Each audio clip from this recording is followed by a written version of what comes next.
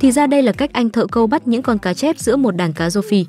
Nay anh thợ câu được một người bạn rủ đi câu chép, bảo hồ này nhiều chép to lắm mà không ai bắt được. dù gì chứ dù anh thợ câu đi câu thì quá ư là chuẩn bài. Nay anh dùng cây cần tổng hợp để câu vì nghe bảo nhiều cá to lắm.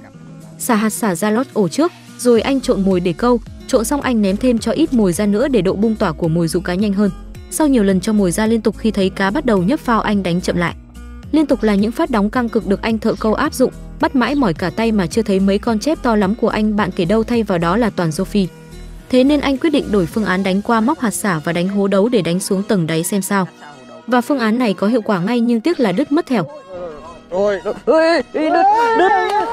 Tốt quá. Nhưng không lâu sau thì anh đã cho lên một chú khác. Rồi, rồi, rồi. Rồi. Cuối cùng anh cũng chơi được đến ngay thấy hoa câu được cái tè rồi. Câu tới tối với rất nhiều cái giật thì cuối cùng anh cũng đã bắt được những chú cá chép đẹp long lanh mà anh cần.